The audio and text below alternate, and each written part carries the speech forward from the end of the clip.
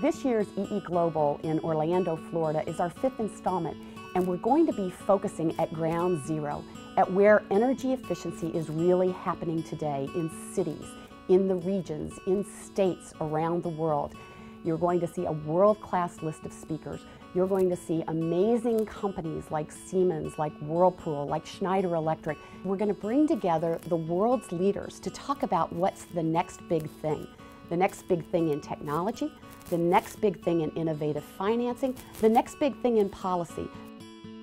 I want to personally invite you to join us for what will be the largest, most prestigious gathering of the world's energy efficiency leaders in 2012.